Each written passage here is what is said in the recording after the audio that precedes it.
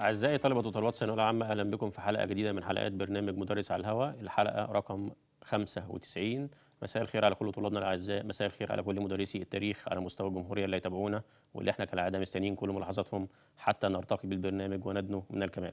الحلقة النهاردة بالنسبة لنا في التاريخ هتكون مراجعة على الفصل الأول والثاني وهيكون في ضيافتنا في الاستوديو الأساتذة اللي هنقوم بتعريفهم دلوقتي. هيكون في ضيافتنا مستر سمير شربي مساء الخير يا مستر. أخبار حضرتك إيه؟ الحمد لله تمام. ويكون معنا أيضا في الحلقة مستر محمد عز الرجال. مساء الخير يا مستر. مساء الفل. مساء حضرتك إيه؟ طيب. حضرتك تاني. ويكون معنا أيضا في الحلقة مستر محمد عبده. مساء الخير مستر محمد. خير يا مستر أحمد. أخبار حضرتك إيه؟ بحضرتك. الحمد الحمد لله. رب العالمين. ويكون معنا أيضا في الحلقة مستر عبد الرحمن الشريف. مساء الخير مستر محمد. أخبار حضرتك والله. وأخيرا وليس أخيرا هيكون معنا في الحلقة مستر أحمد السيد مساء الخير مستر أحمد. حضرتك. أخبار حضرتك إيه؟ الحمد لله. الحمد لله تمام. إن شاء الله تمنيات القلبية بتوفيق وحلقة موفقة إن شاء الله. وطبعا آه، الطلبة اللي بيشاهدونا دلوقتي أساتذتنا الأفاضل مجمعين كم كبير جدا من الأسئلة على الفصل الأول والثاني في التاريخ للصف الثالث الثانوي. أسئلة قائمة على إعمال الفكر والتحليل وربط أجزاء المنهج. فيا ريت كل الطلبه اللي بتشاهدنا دلوقتي تركز مع أساتذتنا الأفاضل اللي معانا في الاستوديو. وطبعا في مفاجأة هنقولها في آخر الحلقة فيا ريت كل الطلبه تركز معانا. نبدأ الحلقة بتاعتنا مع مستر سمير شلبي ونستأذن المخرج الجميل يجيب لنا الصفحة رقم واحد. اتفضل مستر سمير. بسم الله الرحمن الرحيم. آه، حبايبي طلاب الثانوية العامة آه، القسم الأدبي أهلا بيكم وكل سنة وأنتم طيبين. والنهاردة جايب لكم مائدة تاريخية في شهر رمضان الكريم آه، إن شاء الله نستفيد منها ونستمتع بيها. عندنا آه، مجموعة أسئلة. السؤال الأول طبعا قبل ما أقول السؤال الأول عايز أقول لكم إن في حاجة اسمها مفتاح الإجابة. ركز وأنا بقول مفتاح الإجابة. لو عرفت مفتاح الإجابة هتعرف الإجابة. السؤال الأول بيقول أول من اهتم بإحياء التجارة الدولية في مصر أثناء الحكم الفرنسي؟ نابليون ولا مينو ولا كليبر ولا لويس السادس عشر؟ ولما أجي أجاوب على السؤال ده هفكر هشوف فين يعني إيه يعني إيه مفتاح الإجابة؟ أول من اهتم بإحياء التجارة الحقيقة التجارة الدولية مقصود بها التجارة الخارجية مش الداخلية.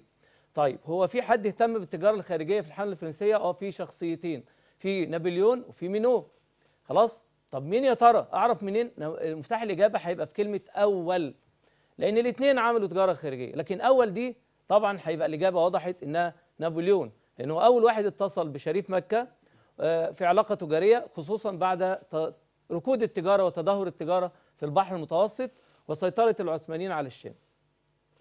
آه، يبقى الإجابة هتبقى نابليون. السؤال الثاني تؤكد أحداث الحملة الفرنسية في مصر أن مراد بك اهتم بتنمية حرفة إيه مراد بك طبعا من زعماء المماليك المعروفين يا ترى اهتم بحرفة إيه عندنا أربع اختيارات الزراعة الصناعة التجارة الرعي. السؤال مش محير ولا حاجة ويمكن هيبقى واضح لو عرفنا لو عرفنا مفتاح الإجابة. مفتاح الإجابة هنا هو أحداث الحملة الفرنسية. يعني إحنا عرفنا مراد بك عمل آه، حرفة إيه في أحداث الحملة. آه، لما آه، مينو جاي يعمل يعني نهضة في مصر بدأ يعمل نهضة صناعية. فبدأ كان في مصنع عامله مراد بك ترسانة لصناعة السفن في الجيزة. وكان مهمل لأن مراد بك كان هرب للصعيد. فالحملة الفرنسية بدأت تصلح هذا ال- المصنع. إذا نقدر نستنتج أو نستنبط من هذا إنه مراد بك كان آه، بيهتم جدا بالصناعة. شكرا. أحسنت يا مستر سمير. ننتقل للصفحة رقم اثنين مع مستر محمد عز الرجال اتفضل يا مستر محمد. بسم الله الرحمن الرحيم. أبنائي الأعزاء أهلا ومرحبا بكم وكل عام وأنتم بخير. آه إن شاء الله كما تعودنا آه، نركز على نواتج التعلم هي ديت اللي بتركز على الأسئلة بإذن الله وإن شاء الله عام سعيد آه، على الجميع. السؤال الأول معايا اتسم الوضع داخل فرنسا قبل الثورة الفرنسية 1789 بالعداله أم الفساد أم الشورى أم الحرية؟ طبعا الثورة الفرنسية قامت بها الطبقه الوسطى بالتحالف مع طبقة العامة. هذا دليل على إن آه، فرنسا كانت آه، تفتقد إلى العدالة والى الحرية واذا الإجابة الصحيحة هي الفساد. السؤال الثاني مصائب قوم عند قوم فوائد. ومن خلال العبارة نستنتج أن أكثر المستفيدين من تدهور التجارة قبل وبعد محمد علي هم المصريين أم المماليك أم الأجانب أم الأتراك. طبعا قبل محمد علي تدهورت التجارة الداخلية والتجارة الخارجية النتيجة سيطر التجار الأجانب على التجارة في مصر وذلك بسبب تنظيمهم وتمتعهم بالامتيازات الأجنبية. بعد سقوط أو بعد تطبيق بلطة اليمان ضمن معاهده لندن سقط نظام الاحتكار ودخلت الاستثمارات الأجنبية وسمح للتجار الإنجليز بالإتجار في الب- البضائع المصرية واستيراد ما يحتاجه السوق المصري وتضاءل نفوذ التاجر المحلي لحساب الوكالات الأجنبية. إذا الذي استفاد من تدهور التجارة قبل محمد علي وبعد محمد علي هما الأجانب. ألف شكر. جميل جدا. أحسنت يا مستر محمد. ننتقل للصفحة رقم ثلاثة مع مستر محمد عبده اتفضل يا مستر محمد. أعزائي طلبة الثانوية العامة أهلا بكم من جديد في حلقة جديدة من مراجعات التاريخ على مدار آه، العام.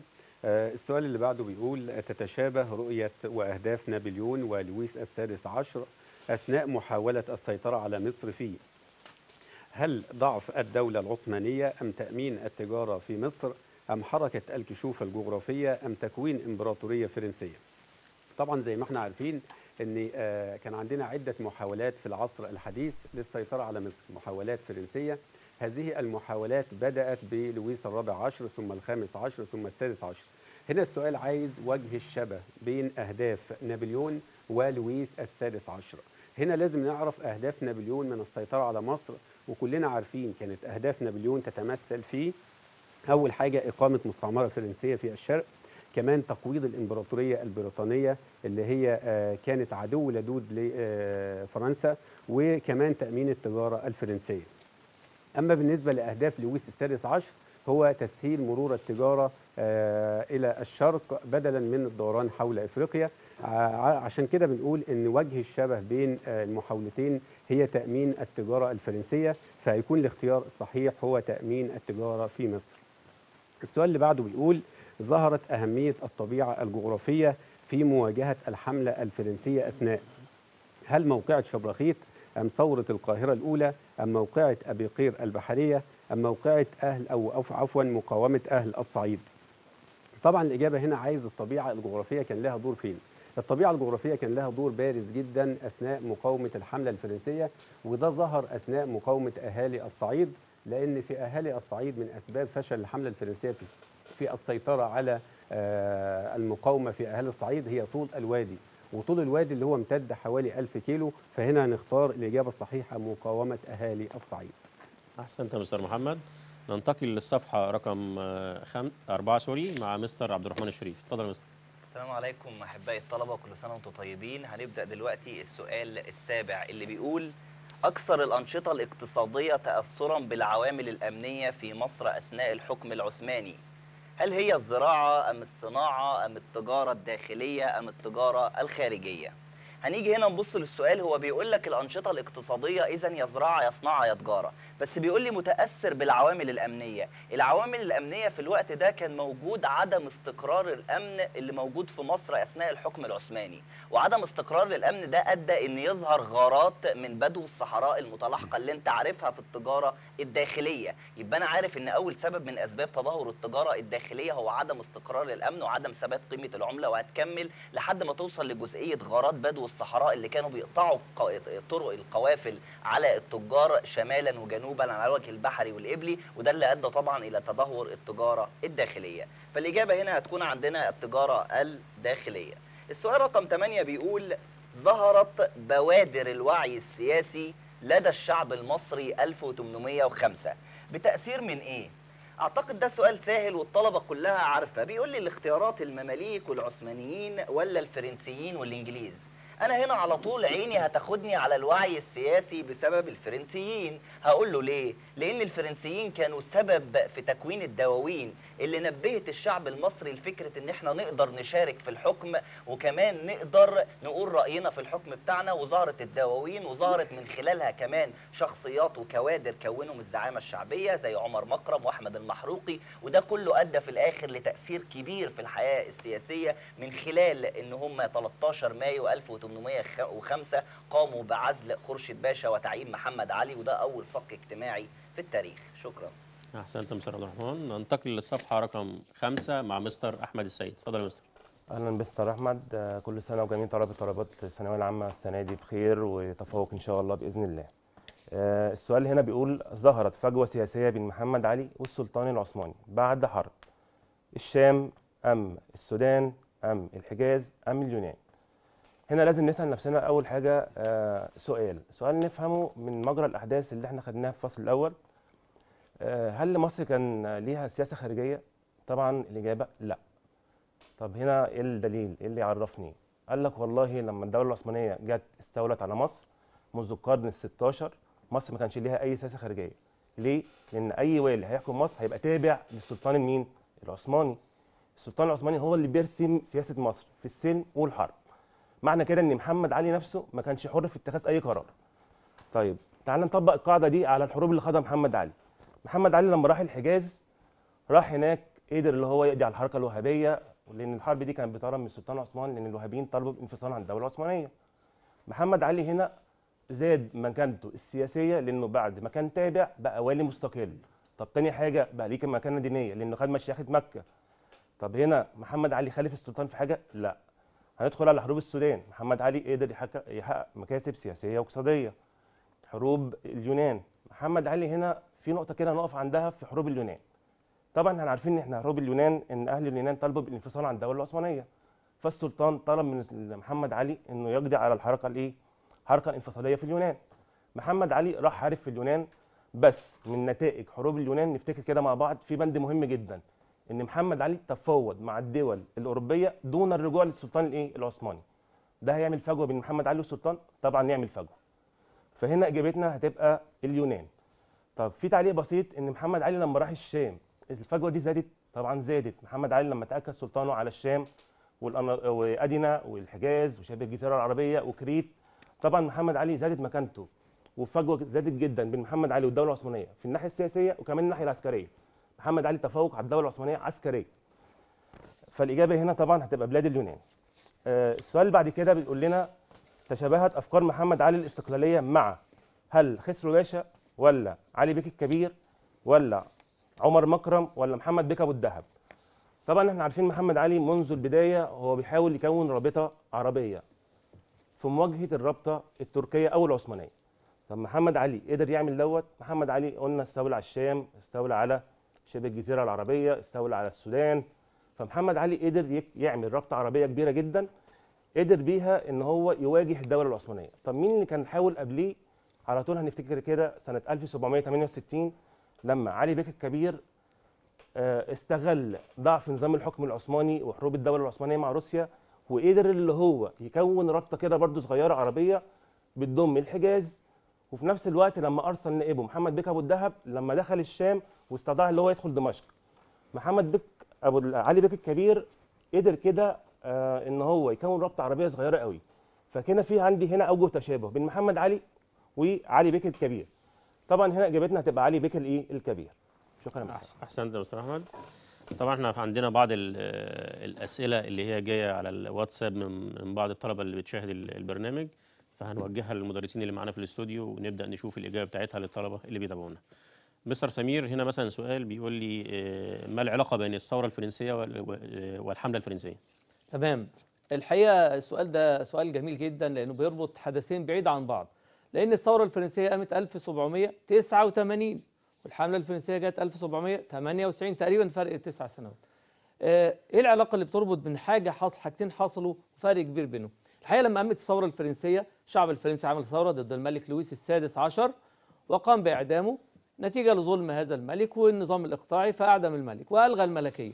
لما ألغي النظام الملكي دي حاجة داخلية شأن داخلي جوه فرنسا. لكن الحقيقة الدول الأوروبية م- ما حبتش إن ال- الموضوع ده يحصل وأرادت أن تعيد الملكية مرة أخرى بعد ما آه، بعد ما نجحت يعني فقررت إنها تحارب الثورة الفرنسية وتحارب فرنسا عشان تعيد الملكية. ترى ليه؟ تعيد ال- النظام الملكي ليه؟ لأن الملوك الحقيقة بتوع أوروبا كلهم خافوا على عروشهم. آه، وفي نفس الوقت خافوا من انتشار مبادئ الثورة الفرنسية في كل دول أوروبا. فكان طبيعي جدا إن أوروبا كلها تتعاون أو تتحالف لمحاربة آه، فرنسا. بقيادة إنجلترا طبعا العدو اللدود لفرنسا. وفعلا قامت عدة حروب انتهت بإن فرنسا انتصرت على كل دول أوروبا. تخيلوا؟ ما عدا دولة واحدة لن تستطيع أن تنتصر عليها اللي هي بريطانيا أو إنجلترا اللي هي بسبب آه، قوة أسطولها.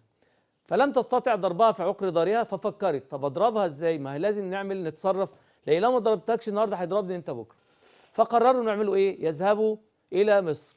يضربوا إنجلترا في خارج أراضيها إن هم يحتلوا مصر. طب إيه علاقة مصر بالموضوع؟ مصر هي الطريق اللي كان بيمر بيه التجارة البريطانية إلى الهند اللي هي أكبر مستعمرة بريطانية. وبالتالي كان طبيعي جدا إنه آه، الحمله الفرنسية على مصر هتقضي على اقتصاد إنجلترا وهتحقق أهداف أخرى. فكان ده الربط ما بين الثورة الفرنسية والحملة الفرنسية على مصر ولولا الثورة الفرنسية ربما لم تأتي الحملة الفرنسية أصلا. شكرا. أحسنت يا مستر سمير. من بعض الأسئلة برضو اللي جاية لنا من من أحد الطلاب. سؤال بيقول لي آه، مستر محمد ما وجه الارتباط بين معاهدة بلطة ليمان وقانون المقابلة؟ تمام. سؤال جميل وربط بين الأحداث وبرضه الأحداث يعني بعيدة عن بعضها شوية ولكن بينهم علاقة وثيقة. معاهدة بلطة ليمان 1838 أما قانون المقابلة 1871 طب إيه العلاقة اللي بينهم؟ العلاقة اللي بينهم علاقة ارتباطية إن معاهده بلطة ليمان كانت سبب في صدور قانون المقابلة.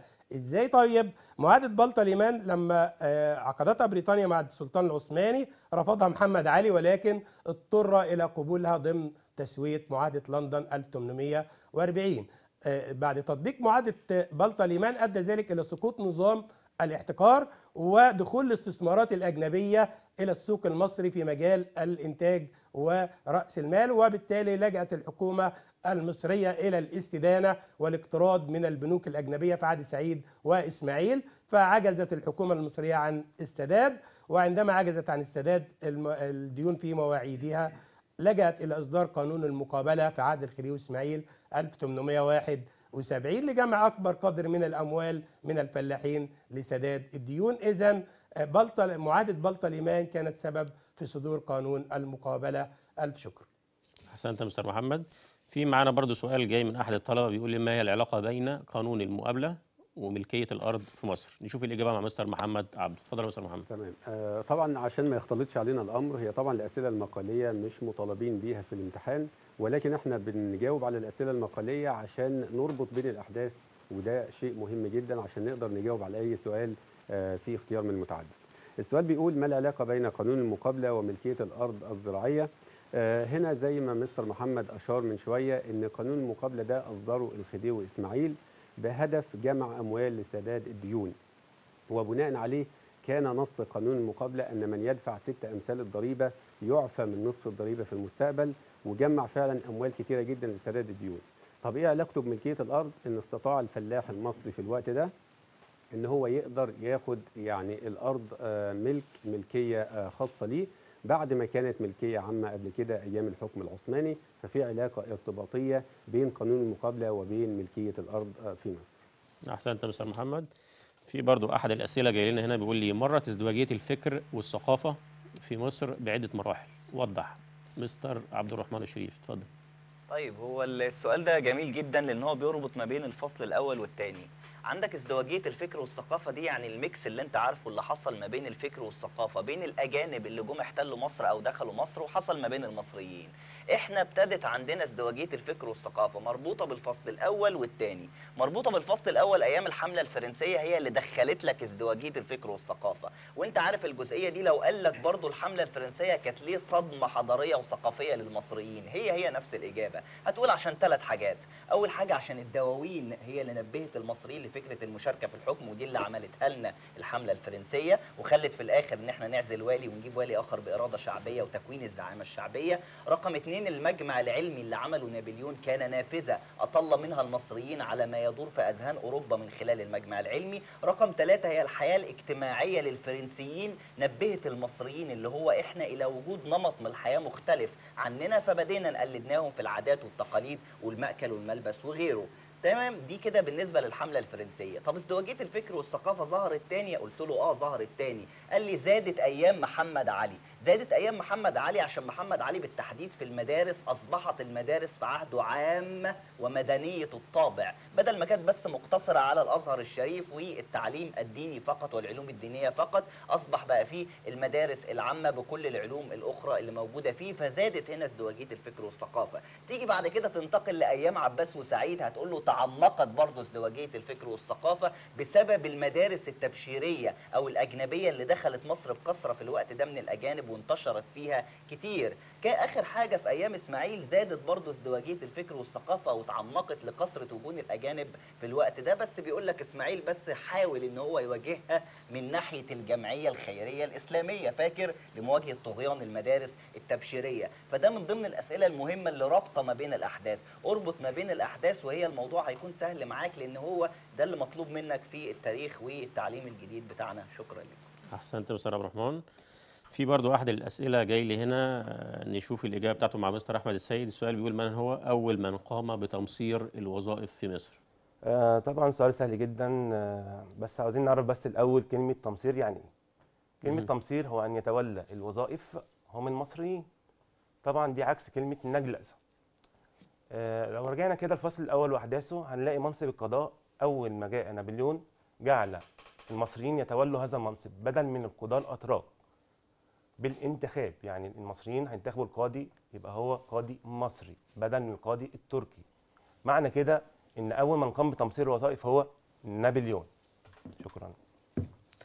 أحسنت يا مستر أحمد. آه، طبعا الطلبة اللي بتشاهدنا دلوقتي التليفون هينزل اللي هو بتاع إدارة ال- البرنامج على الشاشة دلوقتي. لو أي طالب من أي محافظة عنده أي سؤال يبعت لنا رسالة على الواتساب. هنوجه الأسئلة دي مباشرة للأساتذة اللي معانا في الاستوديو.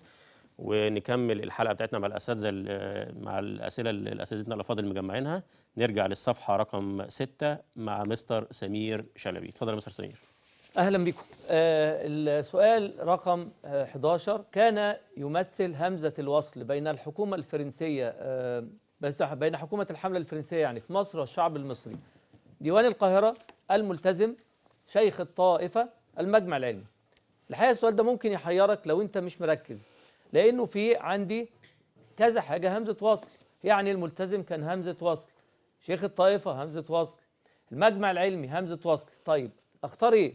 قلنا تدور على مفتاح الإجابة. هنا همزة الوصل بين مين؟ بين حكومة الحملة الفرنسية والشعب المصري. يبقى أكيد مش هينفع أقول الملتزم لأن الملتزم كان همزة وصل بين آه، ال- الفلاحين أو أصحاب ال- الملاك الأراضي والدولة. وشيخ الطائفة بين الصناع والدولة. أما المجمع العلمي فكان الحقيقة المجمع العلمي هو كان همزة الوصل بين الحملة الفرنسية والحكومة بتاعتها وبين الشعب المصري. إزاي؟ المجمع العلمي عمل جريدة باللغة العربية لنشر القرارات الإدارية وتحذير الناس من أصحاب من الاستماع لأصحاب الميل والمعديه وبالتالي كان همزة الوصل عن طريق هذه الجريدة. بالإضافة لأنه كان يعني كان نافذة أطل منها المصريون على آه، أوروبا ما يدور في أوروبا يعني. فيعتبر الإجابة هنا هي المجمع العلمي. السؤال التالي أكثر فئة أسهمت في تدهور التجارة الدولية في مصر أثناء الحكم العثماني. الاختيارات التجار الأجانب المماليك البرتغاليون البدو. هركز قوي في التجارة الإيه؟ التجارة إيه؟ الدولية وليست الداخلية يعني الخارجية. إيه أكتر فئة أسهمت؟ طبعا أكيد تدهور التجارة الخارجية كان بسبب اكتشاف طريق رأس الرجاء الصالح. واللي حرم مصر من آه، آه، التجارة بتاعتها. وبالتالي مين اللي اكتشف طريق رأس الرجاء الصالح؟ هم البرتغاليون. وبالتالي الإجابة هنا هتكون البرتغاليون هم الذين أسهموا في تدهور التجارة الدولية. شكرا لكم أحسنت يا مستر سمير. ننتقل للصفحة رقم سبعة مع مستر محمد عز الرجال. اتفضل يا مستر محمد. السؤال اللي معانا بيقول اتبع السلطان العثماني لمواجهة حركة علي بك الكبير سياسة المسالمة أم الوفاق أم المساومة أم الترهيب؟ طبعا السلطان العثماني المسالمة آه لم يتبع معها هذا الأسلوب ولا الوفاق آه ولكن اتبع معه آه المساومة. علي بك الكبير استغل حرب الدولة العثمانية مع روسيا وقام بالانفراد بحكم مصر وطرد الوالي العثماني ثم ضم الحجاز إلى حكمه وأرسل نائبه محمد بك أبو الدهب إلى الشام ونجح فعلا في دخول دمشق. ولكن حدثت مساومة من الدولة العثمانية مع محمد بك أبو الدهب. ساوموه على أن يقوم بالقضاء على حركة علي بك الكبير ويقتل علي بك الكبير مقابل أن يتولى مشيخة البلد. وإذا الإجابة الصحيحة هي المساومة. السؤال رقم 14 بيقول تم مراعاة حقوق الأقليات أثناء الحملة الفرنسية في عهد؟ تم مراعاة حقوق الأقليات. نركز في سؤال بيبقى أو كلمة في السؤال هي اللي بتدلك على الإجابة الصحيحة. تم مراعاة حقوق الأقليات أثناء الحملة الفرنسية في عهد؟ مينو نابليون كليبر لويس السادس عشر. طبعا لما هندور كده هنلاقي الإجابة في مينو لأنه أنشأ محكمة لكل طائفة من الطوائف اللي موجودة في مصر والأجانب من القبط والشوام والروم واليهود. شكرا أحس- جزيلا. أحسنت يا مستر محمد. ننتقل للصفحة رقم 8 مع مستر محمد عبده. اتفضل يا مستر محمد. أهلا بطلاب الأعزاء مرة تانية. السؤال اللي بعد كده بيقول آه، ظهر التضامن العربي أثناء وجود الحملة الفرنسية في مصر. مرة واحدة أم مرتان أم ثلاث مرات أم أربع مرات. طبعا التضامن العربي يعني مساعدة العرب للمقاومة المصرية ضد الحملة الفرنسية في الوقت ده. فإحنا كان عندنا التضامن العربي ده ظهر أكتر من مرة. المرة الأولى كان أثناء مقاومة أهالي الصعيد واللي تم من خلال آه، وصول قوات من الجزيرة العربية. القوات من الجزيرة العربية انضمت إلى المقاومة في الصعيد. المرة الثانية ظهر التضامن العربي ده أثناء مقتل آه، كليبر على يد سليمان الحلبي. فكليبر قدر إن هو آه، طبعا آه، قدر يقتله سليمان الحلبي وده طالب سوري من سوريا كان بيتعلم في الأزهر الشريف وده كان نوع من أنواع التضامن العربي. فعشان كده هنقول إن التضامن العربي ظهر مرتين فهنختار رقم اثنين السؤال رقم 16 بيقول ما لم توافق عليه اليوم قد ترغمك الظروف على قبوله في المستقبل. هذه المقولة تنطبق على هل نابليون أم محمد قريم أم مراد بيك أم علي بيك الكبير؟ السؤال هنا يعني معنى السؤال بيقول لك مين الشخصية اللي آه، ما كانتش موافقة على القيام بحدث معين وبعد كده الظروف أرغمتها واضطر إن هو يوافق على نفس ال- القيام بالحدث ده. هنا بنفتكر على طول مراد بيك اللي هو آه، عرض عليه حكم الصعيد تحت الإشراف الفرنسي أيام نابليون ورفض مراد بيك. في المرة الثانية اتعرض عليه نفس العرض ده بس أيام آه، كليبر ووافق في المرة الثانية حتى لا يعود الأتراك للحكم. فهنا هنختار الإجابة مراد بيك. احسنت يا مستر محمد. ننتقل للصفحة رقم 9 مع مستر عبد الرحمن الشريف. اتفضل يا مستر عبد الرحمن أهلا وسهلا بيكم تاني. السؤال رقم 17 بيقول ارتبط انفراد محمد علي بحكم مصر بالأوضاع السياسية فين؟ هل في مصر ولا في إنجلترا ولا في تركيا ولا شبه الجزيرة العربية؟ طبعا أنا هنا بتكلم عن انفراد محمد علي بحكم مصر. انفراد محمد علي بحكم مصر نهائيا 1811 بالقضاء على المماليك في مذبحه القلعة. أنت عارف القصة دي. وأكيد أول ما أقول مذبحه القلعة هي مربوطة بإيه مذبحه القلعة؟ مذبحه القلعة مربوطة بطلب السلطان العثماني من علي بيك الكبير الذهاب إلى شبه الجزيرة العربية وبالتحديد الحجاز للقضاء على الحركة الوهابية اللي عايزة تنفصل عن الدولة العثمانية في الوقت ده. وبالفعل محمد علي استغل الوضع ده وعزم المماليك القصة اللي انت عارفها طبعا وبمناسبة خروج ابنه تصن على رأس الجيش لقتال الوهابيين وقضى عليهم نهائيا 1811 فهتكون الإجابة أكيد مربوطة بمنطقة شبه الجزيرة العربية وبالتحديد الحجاز. نيجي السؤال رقم 18 بيقول لك تميز موقف محمد السادات ناحية محمد علي بإيه؟ طبعا أنت لازم تكون عارف الشخصية محمد السادات وهي ذكرت لفظا بس جزء صغير بس من المنهج إن محمد السادات ده اللي جه على الزعامة الشعبية أو نقابة الأشراف بالتحديد بعد عمر مكرم. بيقول لك الاختيارات العناد ولا المساومة ولا التضارب ولا الخنوع. إيه كلمة الخنوع؟ الخنوع جاية من الخضوع. وما دام محمد السادات محمد علي جابه أنا عارف على نقابة الأشراف وبالتحديد 1809 نتيجة نفي عمر مكرم إلى دمياط. قال لي طبعا في الوقت ده هو بيتميز بالخنوع لأن هو كان أداة طيعة في يد محمد علي فهتكون الإجابة هي الخنوع. شكرا. أحسنت يا مستر عبد الرحمن. ننتقل للصفحة رقم 10 مع مستر أحمد السيد. اتفضل يا مستر. أهلا بحضرتك. أهلا باعزائي الطلبه مره أخرى. السؤال التاسع عشر من الهيئات التي تعد تعد بمثابة هيئة تشريعية في عهد محمد علي هل مجلس الشورى أم مجلس التجارة أم المجلس المخصوص أم جمعية الحقانية؟ طبعا آه، لازم نفهم الأول إن كلمة هيئة تشريعية هي الهيئة الخاصة بإصدار اللوائح والقوانين. طبعا إحنا عندنا عارفين إن أول مجلس شورى النواب ظهر 1866 في عهد الخديوي إسماعيل. معنى كده إن محمد علي ما كانش في عهده مجلس نواب. مجلس النواب هو المختص باصدار اللوائح والقوانين اللي هو الهيئة التشريعية. معنى كده إن محمد علي هينشئ هيئة هي اللي هتصدر اللوائح والقوانين لو راجعنا كده بسرعة الهيئات اللي قدامنا مجلس الشورى ده كان مجلس بيجتمع مرة في العام لمناقشة مسائل الإدارة والتعليم والأشغال. طبعا ملوش هنا ليه علاقة بالسلطة التشريعية. آه، مجلس مخصوص آه، هنراجعه دلوقتي قبل مجلس التجاره مجلس التجارة وجمعية الحقانيه دي هيئات قضائية. هنا المجلس مخصوص هركز عليه شوية. لأن من ضمن من ضمن اختصاصاته إصدار اللوائح والقوانين. معنى كده إن إجابتي هنا تبقى المجلس مخصوص لأنه مختص بإصدار اللوائح والقوانين. آه بعد كده السؤال رقم 20 الدافع الرئيسي في قيام محمد علي بإقامة القلاع والاستحكامات هو التأهب أم التوسع أم الاسترخاء أم الإبطاء؟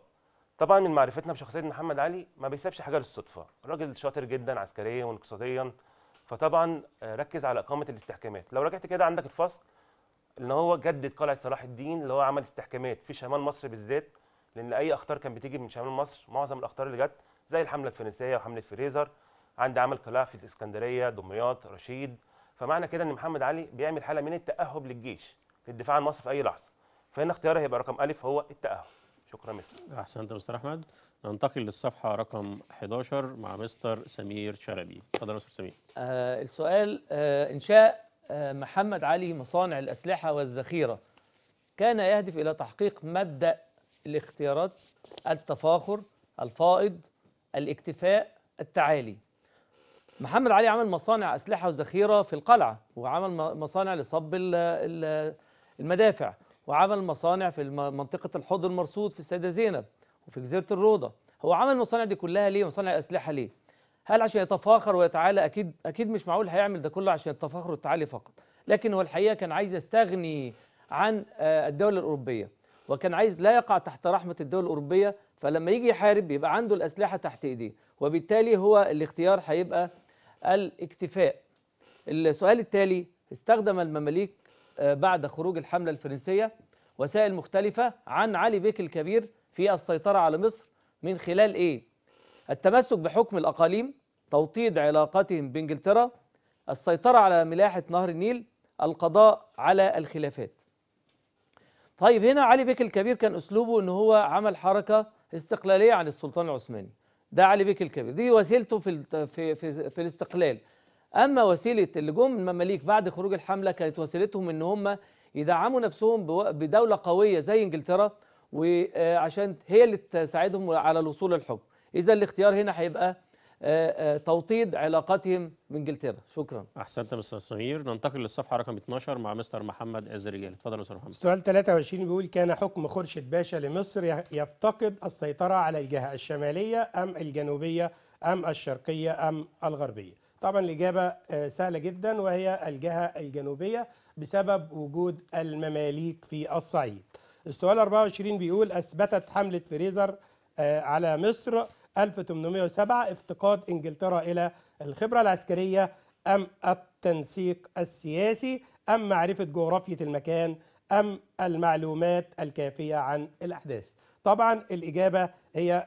الاختيار الأخير الرابع وهو افتقاد إنجلترا إلى المعلومات الكافية عن الأحداث لأن كانت هناك خطة بين المماليك وبين إنجلترا على إرسال حملة وقدوم المماليك من الصعيد ومحاصرة محمد علي في القاهرة. ولكن في هذه الأثناء وقبل وصول الحملة بشهرين توفى محمد بك الألفي دون علم إنجلترا. وأيضا كان محمد علي يحارب المماليك في الصعيد فهنا فشلت الحملة بسبب افتقاد المعلومات أو قلة المعلومات الكافية عن الأحداث في مصر. شكرا. أحسنت يا مستر محمد. ننتقل للصفحة رقم 13 مع مستر محمد عبده. اتفضل يا مستر محمد. آه، سؤال 25 بيقول ظهر الأثر الإيجابي لسياسة محمد علي الاقتصادية على ال- البدو أم التجار أم طوائف الحرف أم الأتراك؟ هنا بيقول الأثر الإيجابي لسياسة محمد علي الاقتصادية. طبعا سياسة محمد علي الاقتصادية المقصود بيها سياسة الاحتكار اللي اتبعها محمد علي. آه، سياسة الاحتكار اللي اتبعها محمد علي كان لها أثر إيجابي وأثر سلبي على بعض الطبقات.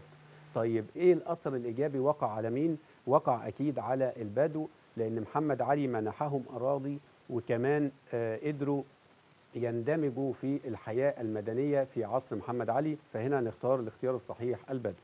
السؤال اللي بعد كده بيقول ظهرت ثمار أول تجربة ديمقراطية في مصر والوطن العربي أثناء ثورة القاهرة أو عفوا ثورة المصريين 1804 أم ثورة المصريين 1805 أم المشاركة في الديوان العام أم ثورة المصريين 1808 هنا بيقول لك ثمار أول تجربة يعني نتيجة أول تجربة ديمقراطية في مصر والوطن العربي.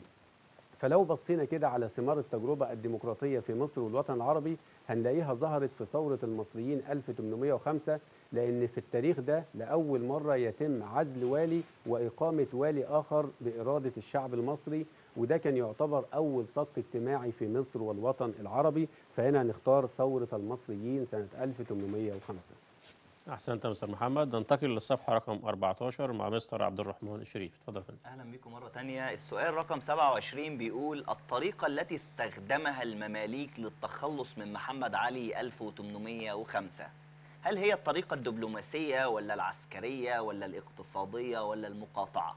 طبعا أنا أي تاريخ بيظهر لي وأنا بقرأ السؤال لازم أركز فيه جدا وأعرف هو بيتكلم في أنهي فترة وبيتكلم على إيه. مش هقول تخلص من المماليك واسكت لأن أنا قلت التخلص من المماليك هقول مذبحة القلعة. هنا بيقول لي 1805 يعني بداية تولي محمد علي حكم مصر.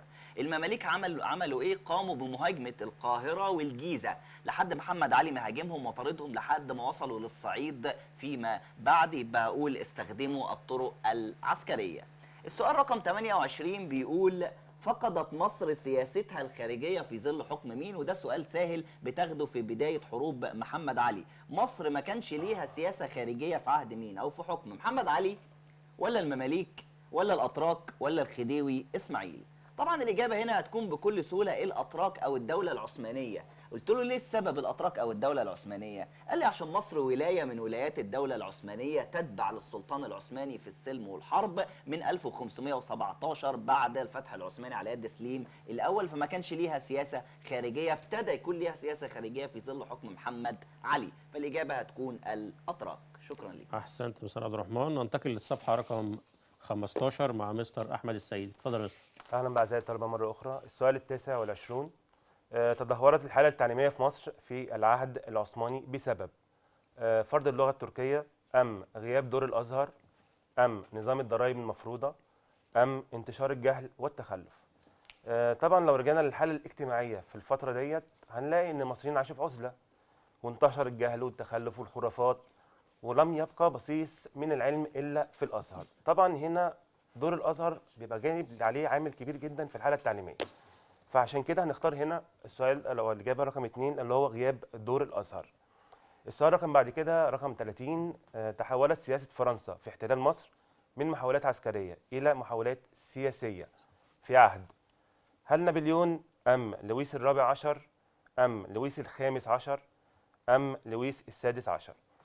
طبعا لو رجعنا جميع الإجابات ديت آه، هنلاقي إن كل محاولات فرنسا أو معظمها كانت عسكرية.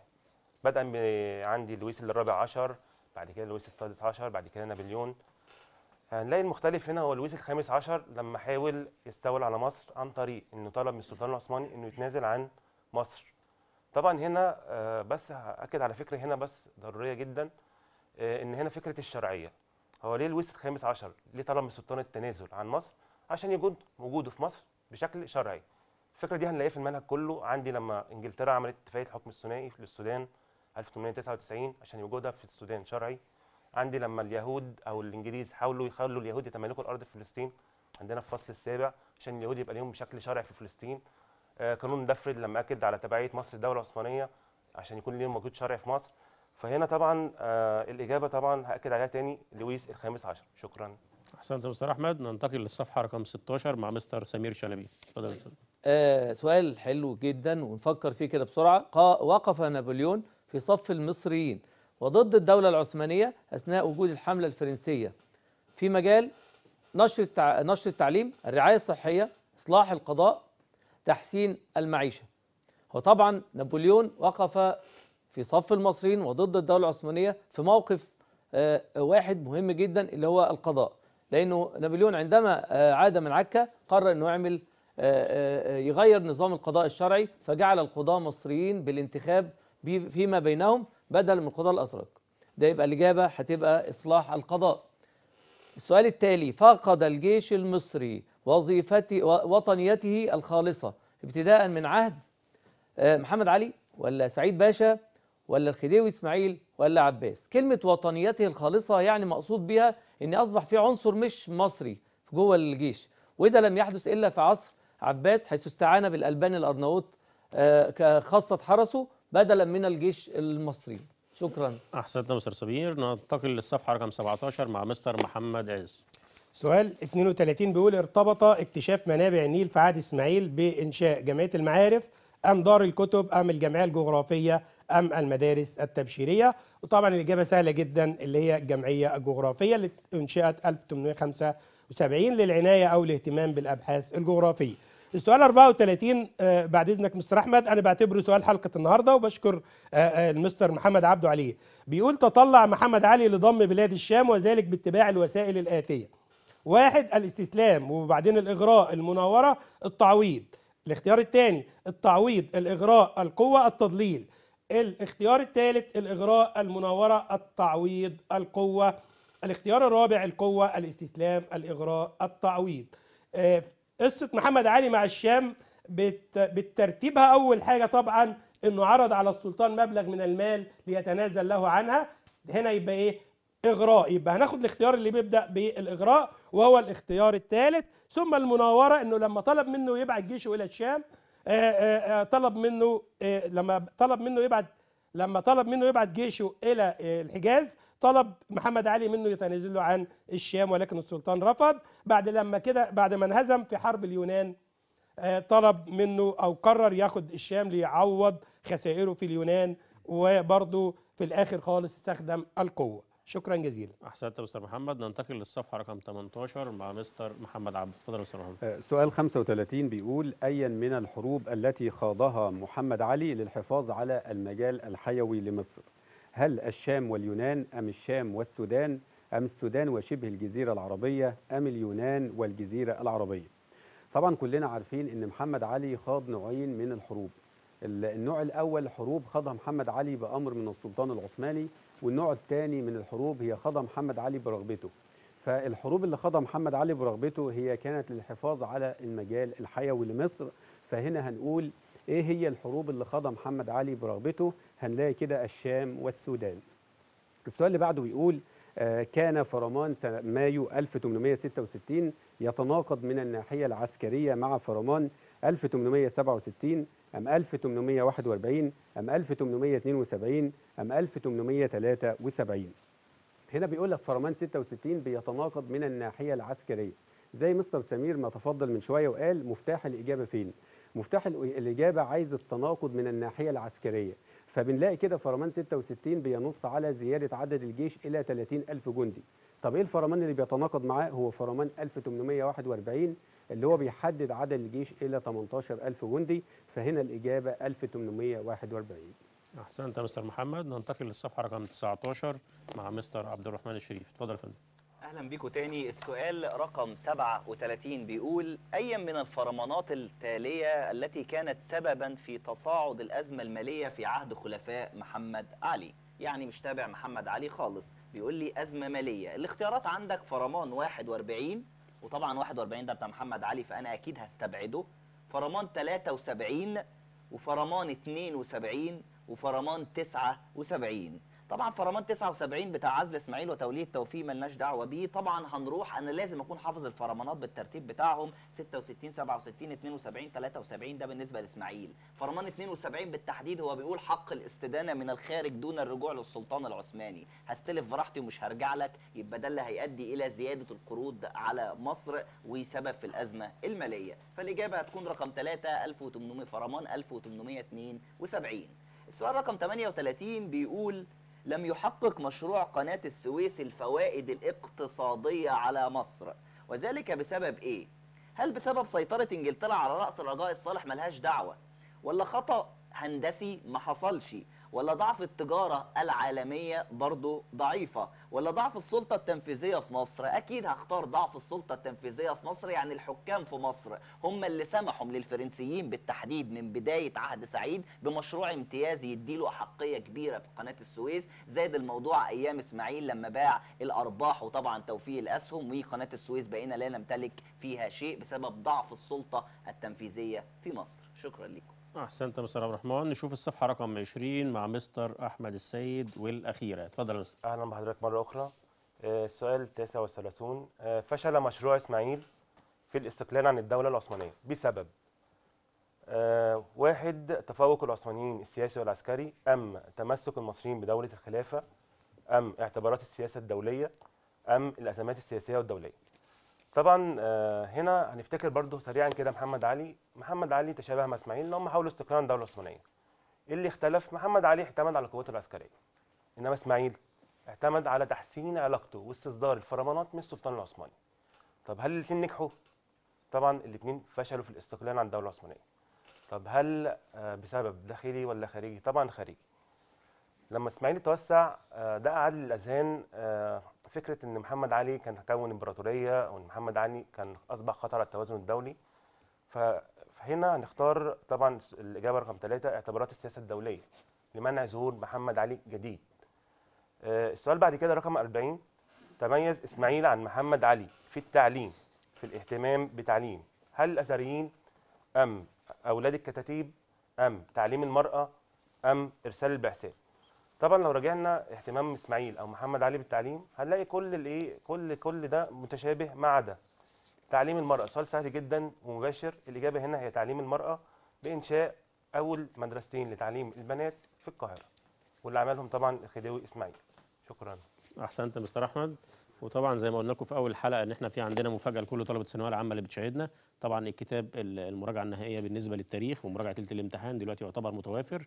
وتوزيعه هيكون الطبعة الأولى حصري من خلال فريق عمل آه، البرنامج في مادة التاريخ. وطبعا أفضل ناس تتكلم مع الكتاب هم المؤلفين بتاعه فهناخد كلمة سريعة من الأساتذة الأفاضل اللي معانا في الاستوديو مستر سمير شلبي. لو عندك أي رسائل سريعة للطلبة بتاعتك بصفه عامة أو بخصوص الكتاب it's okay go ahead حبايبي شايفكم قلقانين قوي وفي ناس بتقول لي إحنا خايفين ما نعرفش نحل خايفين آه، ندخل الامتحان امتحان شا- جديد علينا. أنا عايز أقول لكم إنه انت آه، أو انت ذاكرت وتعبت لكن انت محتاج تتدرب تدريبات كتيرة جدا ومحتاج تربط الأحداث وتحلل الأحداث وتربط في متشابهات وفي متناقضات طول المنهج من أوله لآخره. طيب ده بيحققه يمكن بشكل كبير جدا إحنا يعني في مجهود جدا حصل ما بين مجموعة العمل. الكتاب ده الكتاب ده يعني آه، آه، الحقيقة تعبنا في جدا فيه عشان نطلعه بالصورة اللي هي نرضي طلابنا الأعزاء. وإن شاء الله إحنا متأكدين هتستفيدوا منه كتير قوي لأنه في المتشابهات في المتناقضات في فكر حوالي 8 مدرسين أو 10 مدرسين كمان. فكل مدرس ليه فكره وإن شاء الله إن شاء الله بإذن الله في برضه خدمة كده عاملينها إن من خلال الكتاب. أنت هتحل ولو في حاجة وقفت قصادك في أي مش في الكتاب بس في أي سؤال وقف قصادك بتبعت لأي من فريق العمل على الواتس وهيجاوب لك عليه آه، في نفس الوقت يعني. فشكرا لكم إن شاء الله خير وإن شاء الله السنة الجاية تبقوا في الجامعة زي الوقت ده بإذن الله.